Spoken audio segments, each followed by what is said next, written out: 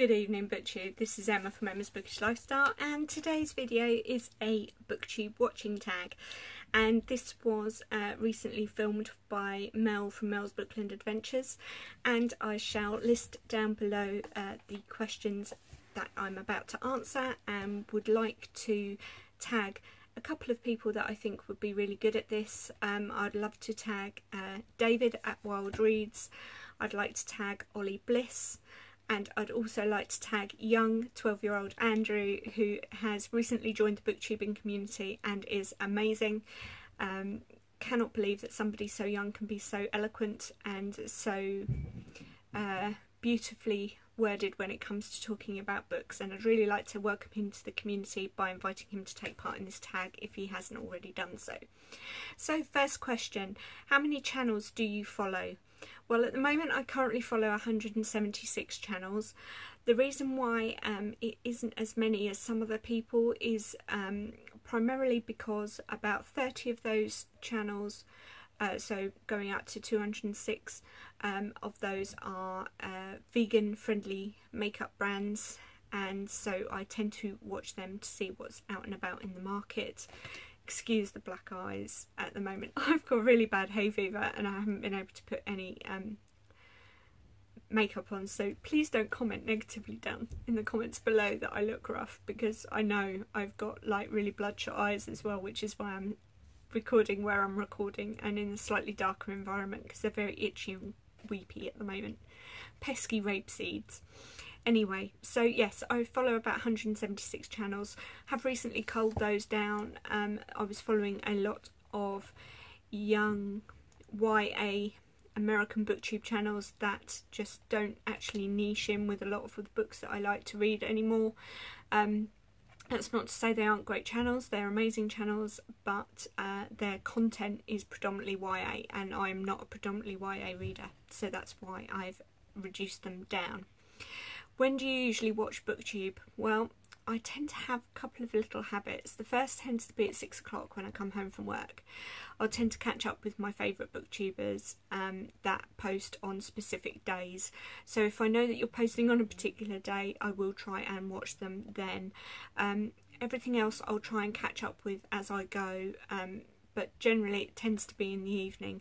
Although to be honest with you I've now kind of put myself on a little bit of a technology ban and I do try not to use YouTube too much of the evening because I want to read and I want to watch telly and I want to spend time with my partner Trevor. So those things are slightly more important than YouTube.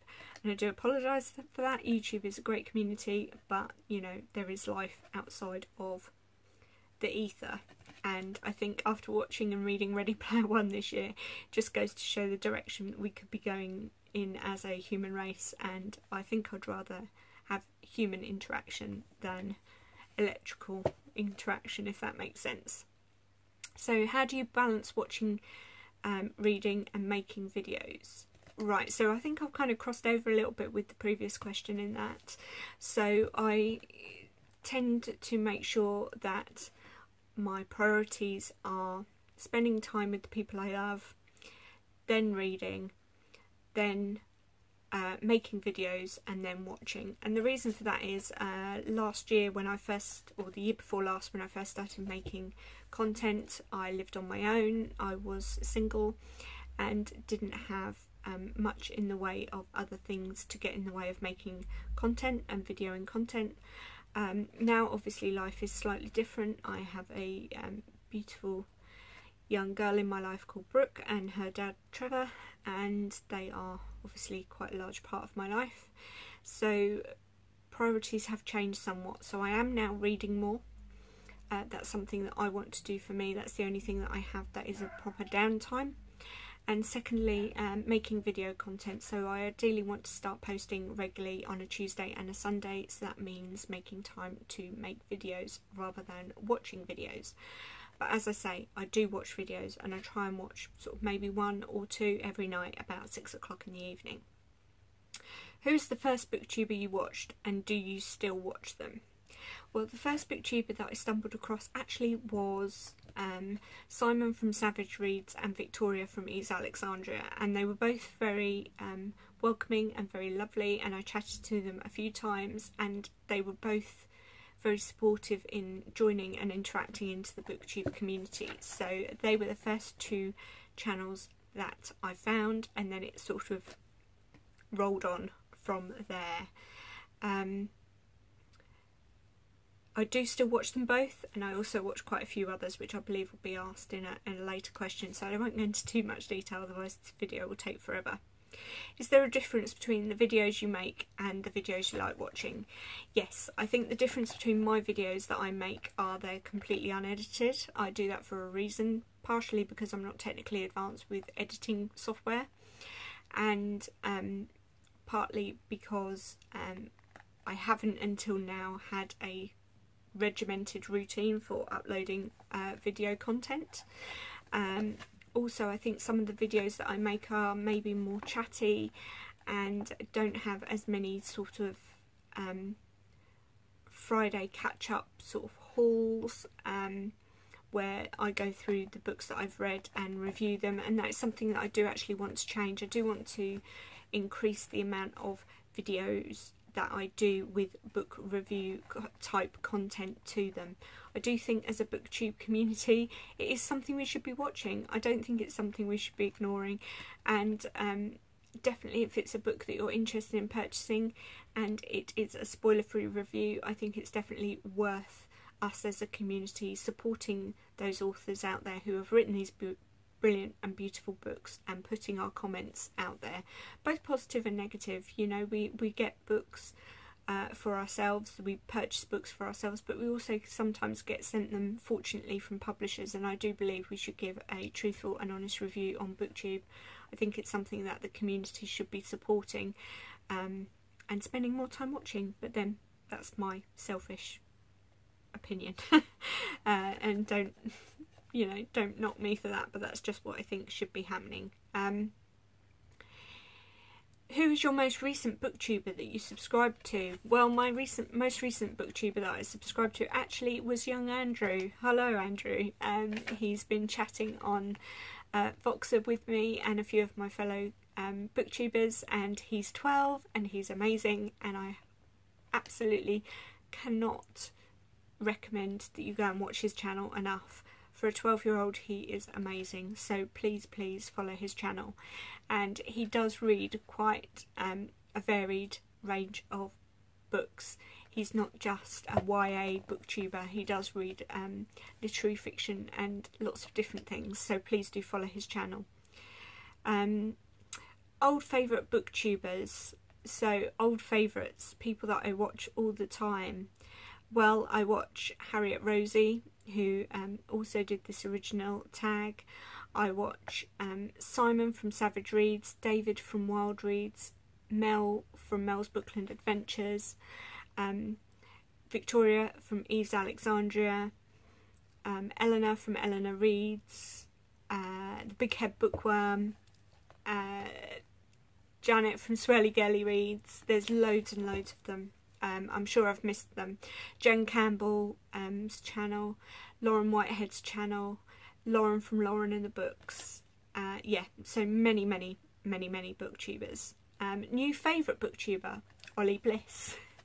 Um, he is my new favourite booktuber, not only because I met him recently at the booktuber meetup and he was absolutely fantastic and spent some lovely time chatting to me and that really meant the world um, to get to know somebody new and but I've really enjoyed his recent new content that he's been doing with Simon at Savage Reads as a collaboration. They're opening up the uh, queer community through books. Um, to everybody, which I think is an essential part of this modern day and age. Uh, we are all one human race, we are all one set of people, whatever we like to call ourselves, and whatever labels we are given, we are still humans. And uh, I just love that series and the identity that they're opening up to the queer community and the queer um, community through books. And I think it's something amazing and I look forward to joining in on some of the books that they're reading. I don't know if I'll be able to do the first book, unfortunately, um, because uh, my library didn't have it available. So uh, it may be the next book that I join in with them, but I will definitely be joining in. And um, question nine booktuber pet peeves. Well, I think I've kind of crossed that, and that is the fact that booktubers community don't feel that book reviews are videos that should be viewed and watched and talked about and discussed. And um, I think we've got copious amounts of book hauls and things like that, but I'd be really interested to hear what people actually fully think of a book review. And sometimes I don't think slotting it in as three or four books in one video gives it enough justice, especially if it's a book that you feel strongly about. Um, and so that's one of my pet peeves. I think we should be um, respecting the authors that have written these amazing books and giving them more airtime to discuss what we loved about them, what we didn't love about them, um, and and things like that. I also don't think that we're um, honest enough about the amount of books that we do not finish. And one of the films that I am due to record is going to be a series on uh, on a quarterly basis where I tell you the books that I've DNF'd and why I've DNF'd them. So um, I hope that's going to be something of interest. Let me know in the comments down below what you think. Um, and question 10 What have you learned from watching booktubers? Well, I've learned that we're a very, very large community, and although I don't have a lot of close friends in the geographical area and the geographical sense, in the worldly sense, there are many of us out there, and we're all in very similar positions. Some of us have got bookish friends, some of us have met bookish friends through BookTube, um, and what I really like is that uh, reading and BookTube in general, but reading is a lovely, lovely um, hobby to have and very engrossing and it's great to be able to share it with other people and especially you guys out in booktube. So uh, that is what i've learned from watching booktube that there are no limits there are no boundaries. We can read what we want discuss what we want and are accepted for who we are whoever we are excluding labels of any description. So I would like to tag a couple of people. I think I've already mentioned Andrew. Andrew, I'd love you to, ta um, to tag you to do this. Um, I'd love to hear David from Wild Reads if you haven't done this. Um, I'd love you to do this and also I'd like Ollie Bliss to do this please. I'd love to hear what he has to say about the kind of booktubers that he watches and um, also to see if any of you three that I've just tagged um, have got any new channels that maybe I've missed out on that I need to include in my um, ever growing list of 170 plus. So I hope you're well for now, BookTube, and I'll speak to you soon. Take care.